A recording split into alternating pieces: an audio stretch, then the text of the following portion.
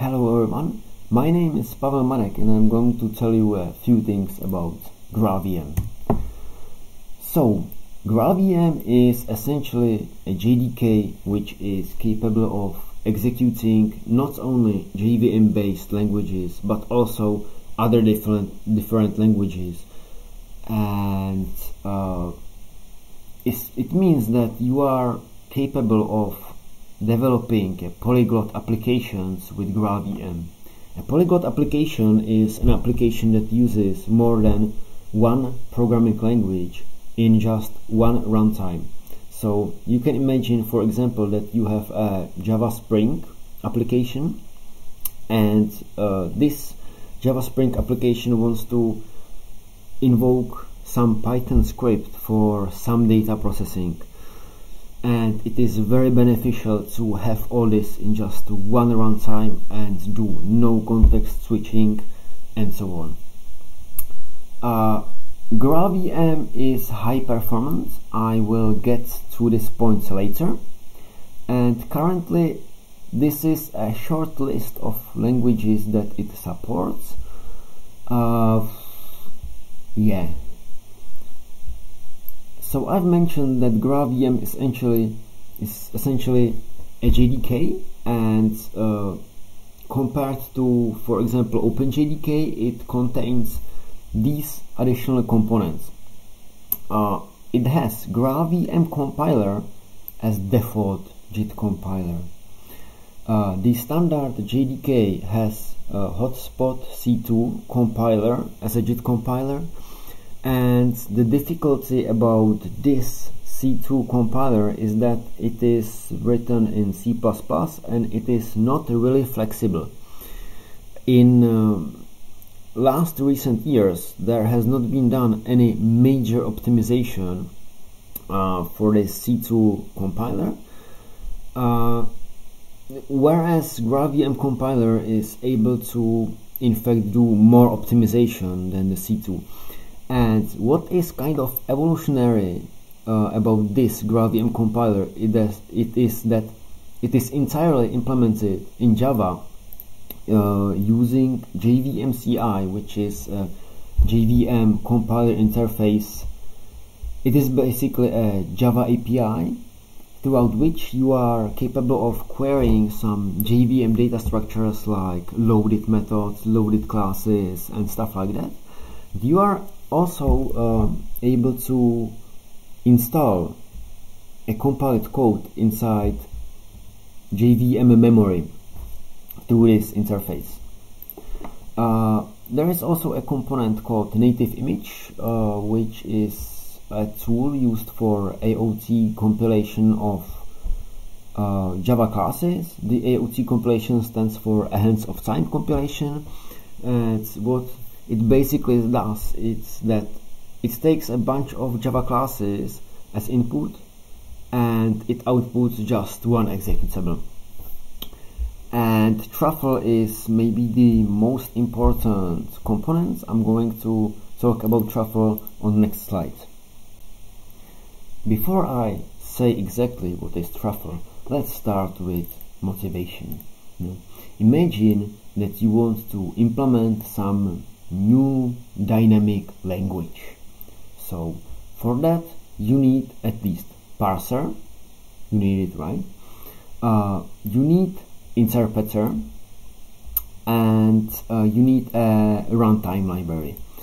Uh, the runtime library may be itself written in that new language and the interpreter is usually written in some low-level language like C or C++. These three components are components that you really need in order to have a new language, right? Now, imagine that you want the new language to have some substantial performance. In order to do that, you would most likely implement a JIT compiler. Now, JIT compiler is a very complicated piece of software, uh, if you really want the performance of the new language to be good, you usually would implement the JIT compiler as a tiered compiler, which means that you will have more than one compiler and uh, the compilers on different tiers will use different optimizations. Uh, so all in all, it means that to implement a JIT compiler is really a lot of work, and also uh, you usually want to have some bytecode specification for a JIT compiler, right?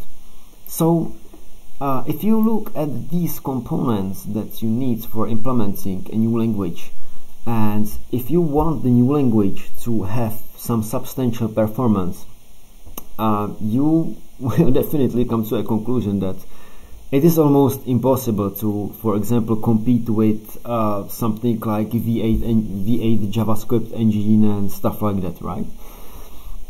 Well, Truffle uh, is aid for this. Uh, it is a platform for building high performance language implementation. Uh, I will come to what this means later. Uh, with Truffle, you only have to implement interpreter and parser. And the JIT compiler and the bytecode specification is provided by Truffle. So uh, it is a great tool for uh, language implementers because you have just to implement the interpreter and parser and nothing more.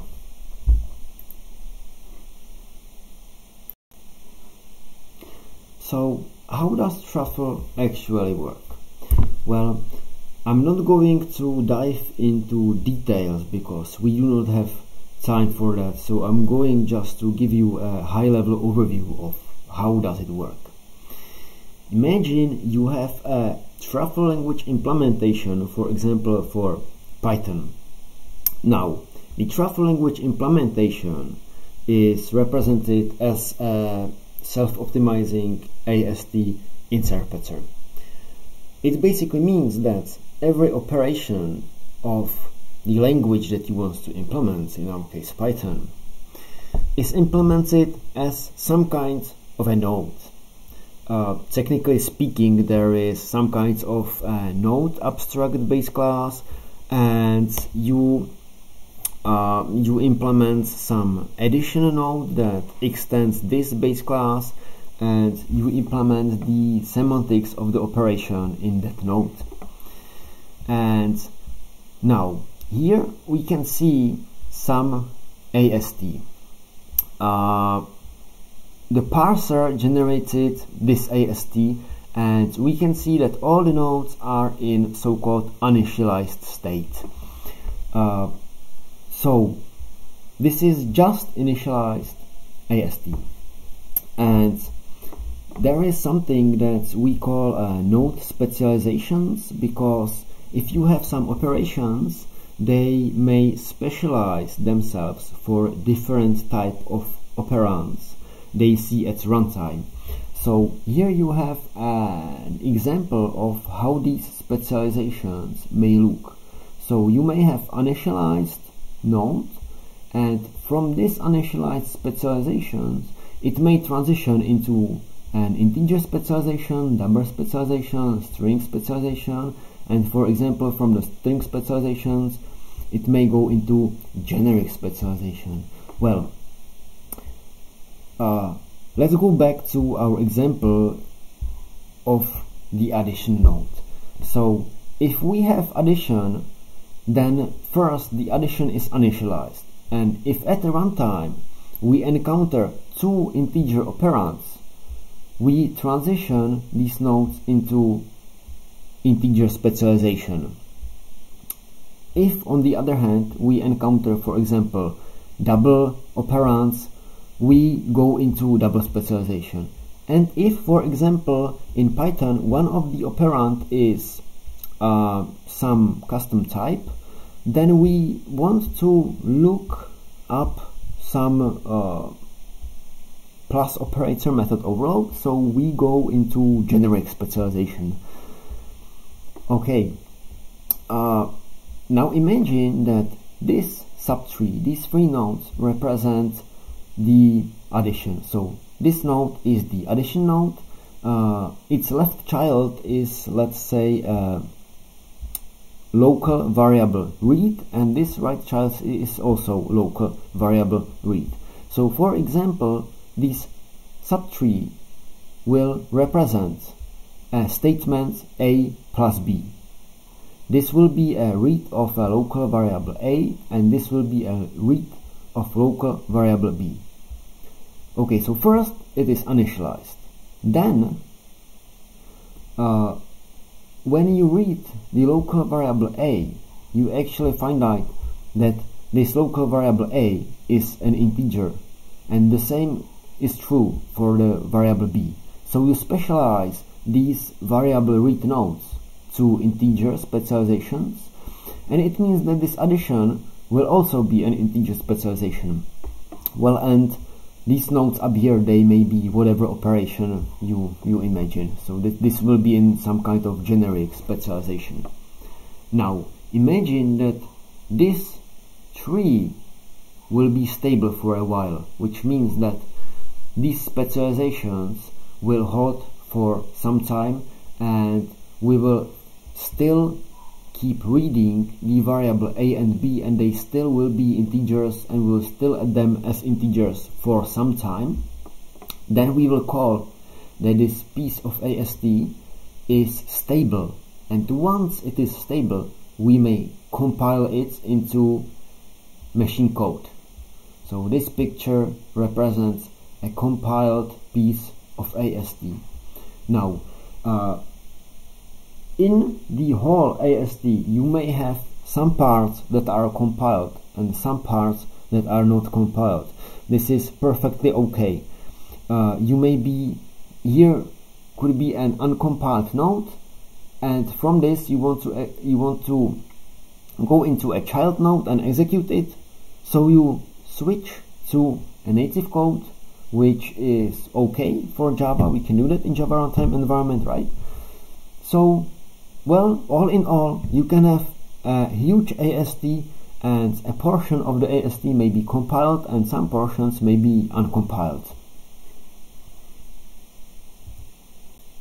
Of course, when you have a compiled part of AST, you may also want to throw away this compiled code in case some specialization does not hold anymore. So for example, here we would read the variable b and it would not be integer anymore but it would be double. And in such case we need to de-optimize this tree and uh, activate a different specializations. And for example after these different specializations will get stable they will be again compiled into native code. Okay let's see demo now. Uh, I will show you a demo that is uh, right from the website of uh, GraalVM uh, by the way I want to show you how to install GraalVM because it is really really simple. Uh, it's like JDK it's just an archive that you unzip and that's that's everything. So uh, the demo application is a Node.js application. Uh, it is basically just this source file and it shows the interoper interoperability between JavaScript, R and Java. So here uh, we just load some um, some Node modules. Uh, we will use a Java big integer type. So wherever uh, we got a request we'll respond by doing something with Java standard library classes here something with big integer. And then we will do something in R uh, and finally we'll create a graph in R. We actually here we actually want to even load an R package inside the R so uh, okay so now let's see how this works. Uh, I already have downloaded the node modules so uh, let's just start uh, this server.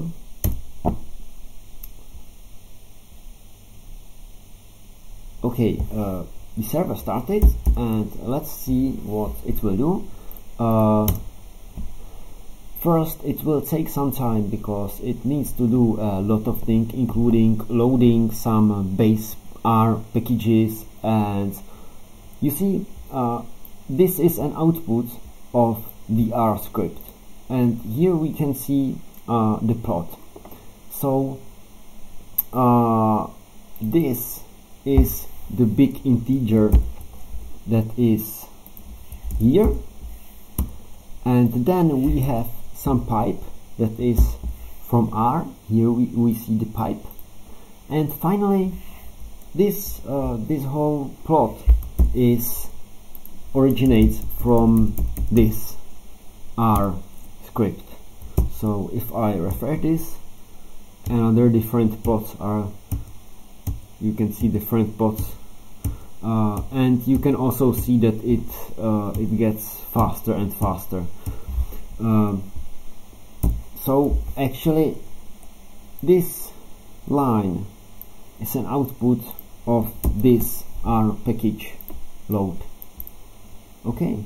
Uh, and by the way I have not uh, told you about uh, this whole polyglot application is actually just one AST and whenever there is a part of the AST compiled it does not matter from which programming language the nodes originate which means that the compilation happens actually uh, across the borders of the programming language. Okay so thanks for watching